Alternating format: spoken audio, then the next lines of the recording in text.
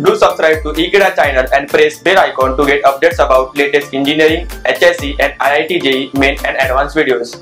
Hello students, today we are studying chapter Enhancement of Food Production. In that, we are studying today topic ploidy. When I say ploidy, it means combination. Combination of chromosomes. Today we will be studying how and what are the combinations. When I talk about ploidy, it means two or sometimes singular. This ploidy is nothing but, you can say, the number of sets of chromosomes present inside a cell. And we all know when chromosomes are pulled apart, we get the structure of DNA on which our genes are present.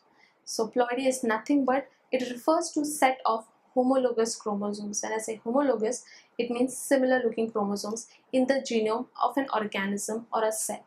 Ploidy can be diploid or it can be haploid. When I say haploid, it means n number of chromosomes. And when I say diploid, it means 2n number of chromosomes.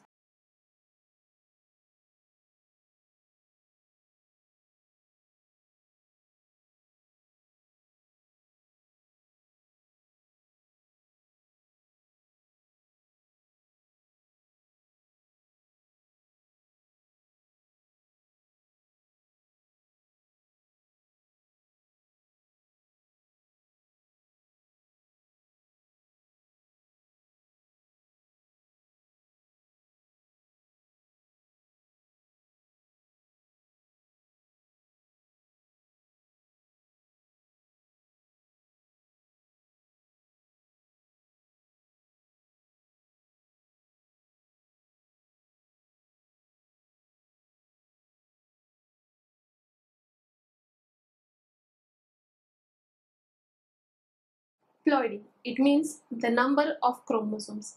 It refers to the set of homologous or similar looking chromosomes in the genome of an organism or inside a cell.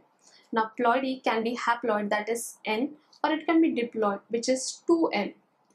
When I talk about ploidy, human cells have diploid that is they together have 46 number of chromosomes which is diploid number of chromosomes in the somatic cells whereas their gametes are nothing but 23. The sperm and the egg cells are basically diploid in number.